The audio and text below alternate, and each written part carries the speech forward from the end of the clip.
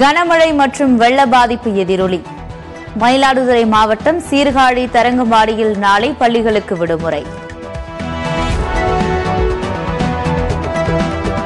கனமழையால் பாதிக்கப்பட்ட சீர்காழி மக்களுக்கு ஆயிரம் ரூபாய் நிதி உதவி அறிவிப்பு. குடும்ப அட்டைதாரர்களுக்கு தலா ஆயிரம் ரூபாய் வழங்க முதலமைச்சர் உத்தரவு. இரண்டாயிரத்து இருபத்தி இரண்டாம் ஆண்டுக்கான தேசிய விளையாட்டு விருதுகள் அறிவிப்பு. செஸ் சாம்பியன் பிரக்ஞானந்தவுக்கு அர்ஜுனா விருது அறிவிப்பு.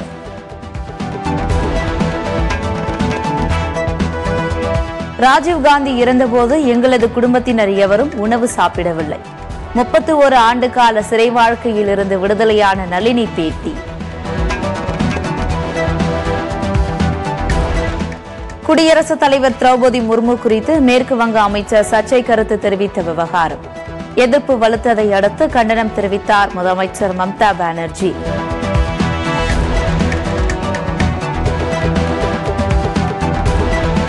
வெங்கசேரி செய்யாற்றில் திடீர் வெள்ளப்பெருக்கு. தரைப்பாலம் முழுவதும் சேதமடைந்ததால் வாகன ஓட்டிகள் கடும் அவதி.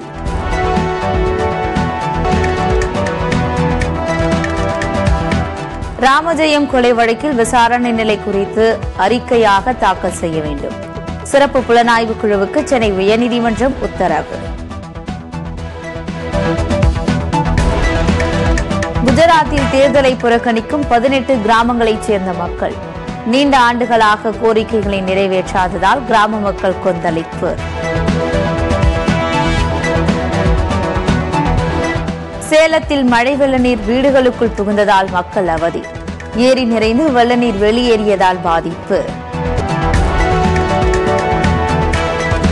நெல்லையில் ஆட்சியர் அலுவலகம் முற்றுகை. சீவலப்பேரியில் கொலை செய்யப்பட்டவரின் உடலை வாங்காமல் உறவினர்கள் நான்காவது நாளாக போராட்டம். காலநிலை மாற்றத்தால் அறுபத்தைந்து சதவிகிதம் பூச்சி இனங்கள் அழியும் நிலையில் உள்ளன. ஆய்வில் கிடைத்த அதிர்ச்சி தகவல்.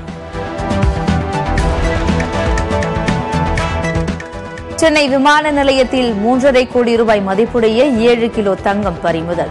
கடத்தலில் ஈடுபட்ட எட்டு பேரை கைது செய்த சுங்கத்துறை அதிகாரிகள் நடவடிக்கை. தமிழ்நாட்டில்தான் அதிகமான குண்டர் தடுப்பு சட்டத்தின் கீழ் வழக்குகள் பதிவு. சென்னை உயர்நீதிமன்ற மதுரை கிளை நீதிபதி விளக்கம்.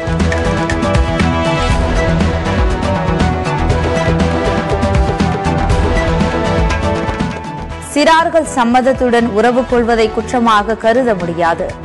டெல்லி உயர்நீதிமன்றம் பரபரப்பு தீர்ப்பு.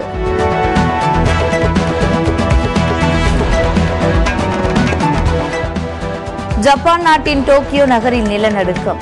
ரிக்டர் அளவில் ஆறு புள்ளி ஒன்றாக பதிவு.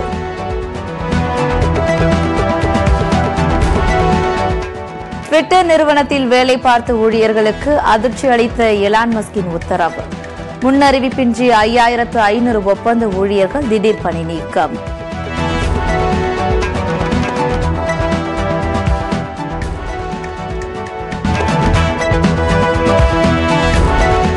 துப்பாக்கி சுடுதல் வீராங்கனை இளவேனிலுக்கு அர்ஜுனா விருது அறிவிப்பு. தமிழக டேபிள் டென்னிஸ் வீரர் சரத்கமலுக்கு தயான்சந்த் கேல் ரத்னா விருது அறிவிப்பு.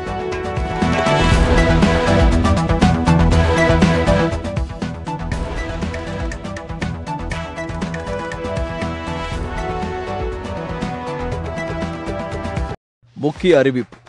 அன்பார்ந்த சத்தியம் டிவி நேயர்களே தொழில்நுட்ப கோளாறு காரணமாக சத்தியம் நியூஸ் என்கிற யூடியூப் பக்கத்திற்கு பதிலாக தற்காலிகமாக சத்தியம் டிவி நியூஸ் என்ற பக்கத்தின் வாயிலாக தினசரி தலைப்புச் செய்திகளை வெளியிடுகிறோம்.